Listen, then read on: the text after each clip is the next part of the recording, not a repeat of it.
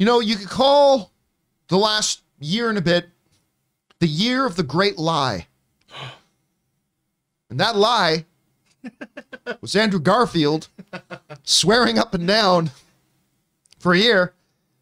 I'm not I'm not in the new Spider-Man movie. I don't know what you're talking about. Pictures came out of him and Tobey Maguire together six months ago. No, no, no, I'm not I'm, I'm not in that movie. Video footage of him in the Spider-Man costume in front of a green screen came out online. Nah, no, no. I'm not in it. Then some other pictures from the set of the movie. I don't know where those ones came from. Wink. I don't know where those ones came from. Came out online. And he still, no. No, no. I'm not in it. I'm not in that one. It was the year of the great lie. He was denying it a week into its first run. Oh yeah. No, no, no. He was he was denying it to his girlfriend. He was denying it to his parents. He was denying it. Lin Manuel Miranda actually uh, was being interviewed, and they asked him like because of course Lin Manuel directed him in Tick What? Tick Boom.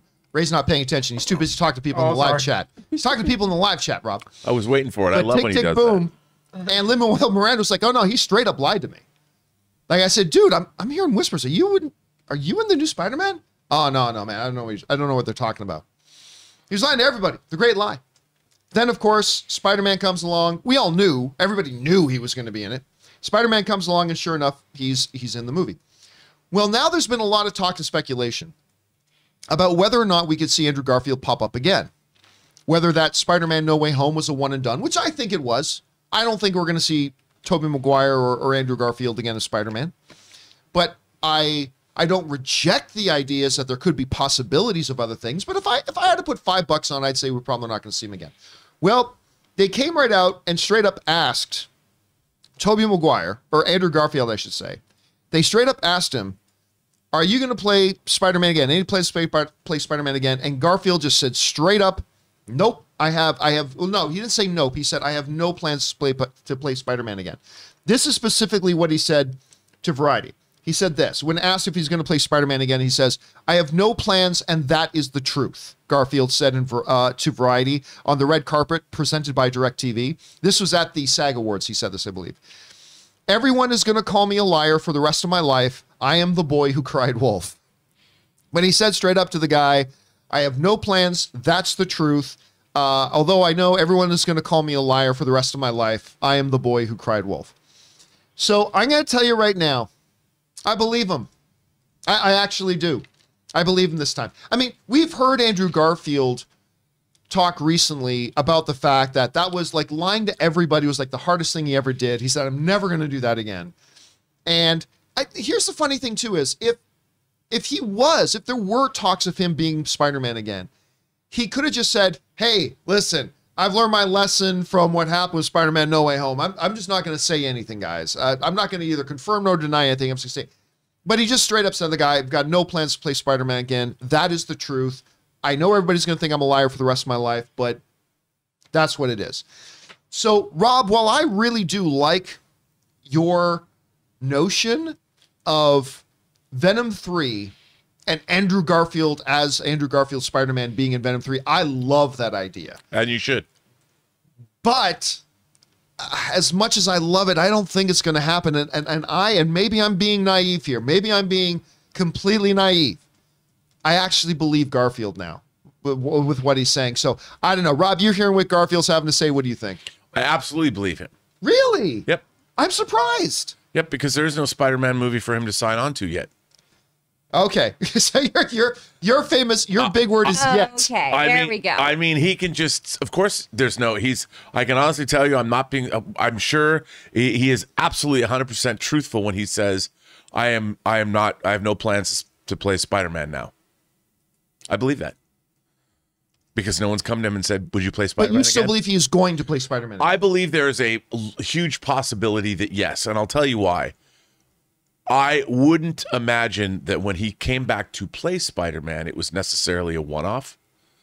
I would say that, you know, the way contracts are done in Hollywood, mm, maybe will, they'll- will they have an option to come back and get him. So like right can you imagine if they didn't do that and they said wow uh andrew garfield's peeps his manager his agents his lawyers would say uh you know how much spider-man no way home made at the box office if you want to get andrew garfield back you have to pay a hundred million dollars i'm sure they figured out something before they signed him to do this movie that in the case they wanted to bring it back it wouldn't cost that much so i'll bet you he does have some kind of a contract or a clause in his contract that does say something about him coming back. I bet you he doesn't.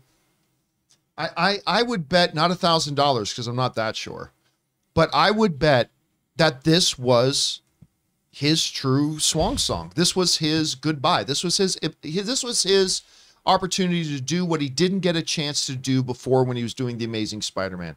Do it one last time, and I think you've got to give an actor that that give him this one last time, but then when he does say, "We'll come back," you know what it reminds me of, Ray?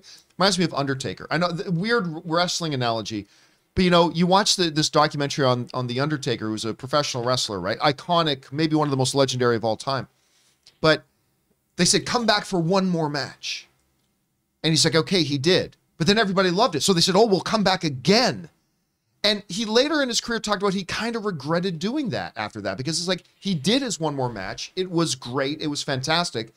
And they talked him into coming back for one more time. And then he had a performance that he wasn't happy with and he was embarrassed about. Then he said, Well, now I got to do it one more time to try to make up for it. I mean, I, I think you got to give him this. And I think this was them just bring it in for one shot thing because I still don't believe Sony or Marvel want two different live action Spider-Mans running around in different movies.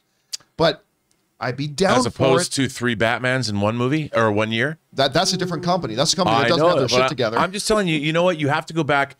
There, there was a lesson to be learned in Hollywood, and it. If you didn't learn the lesson, it was writ large in the title of the movie, and that was 1983's Irvin Kershner directed "Never Say Never Again." no, starring Sean. Connery's James Bond, who said he would never come back. As a matter of fact, in Diamonds Are Forever, he only took the money and gave it to charity.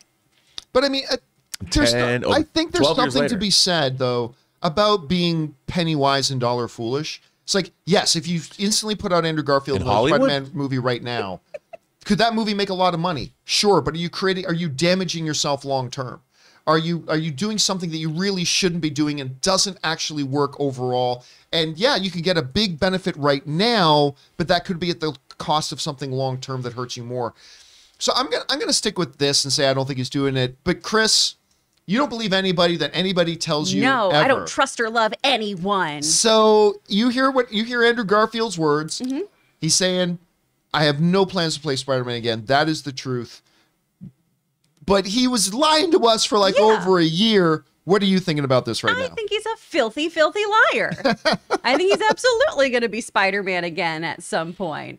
I don't believe this boy at all. I don't believe him farther than I can throw him.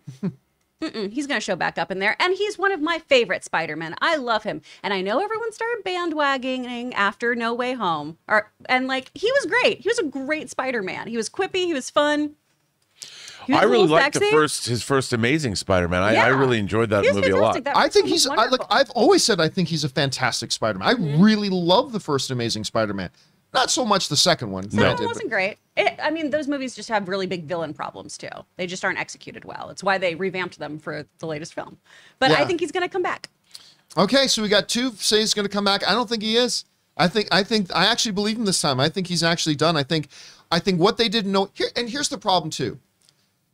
I remember going like over a year ago going into the last Spider-Man, people arguing, "Man, it would be so good if they had Tobey and Andrew to give them one big send-off." That's what everybody want, right? Give them a big glorious moment that Tobey Maguire never got to do because they were supposed to do Spider-Man 4 and that got axed. They were going to do a third Amazing Spider-Man, that got axed. And everybody, the narrative was, give them this one thing. Okay, so now they gave him that thing.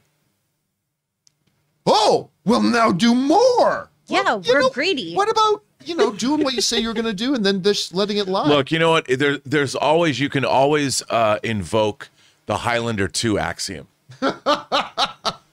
which is, of course, for those of you who don't know, the Highlander two axiom is no matter what we do, what movie sequel we make, it's never going to be as bad as Highlander two. yeah. It's That it's is the. Highlander two axiom. one of the three great unholy trinity of the worst wide release Hollywood films of all time, Highlander 2. Or and if you if you haven't seen Highlander 2 or you're unfamiliar with that, you can also replace it with Beverly Hills Cop 3. Well, see, my my unholy trinity, you know it. My unholy trinity of the worst ever wide release Hollywood films is in no particular order: uh, Highlander two, Catwoman, and Battlefield Earth. They're the, the three worst ever done. And so, yes, the Highlander two axiom. Anyway, guys, question is for you. What do you think about this? Andrew Garfield is is he just at it again? Or has he got his lying to everybody about his involvement and stuff put aside? What do you think? Do you believe him when he says, I am not going to be Spider-Man again? I'm not, I'm not lying, telling you the truth. Or is he just pulling the same BS that he pulled with us for over a year? Whatever you guys think about it, jump down into the comment section below and leave your thoughts there.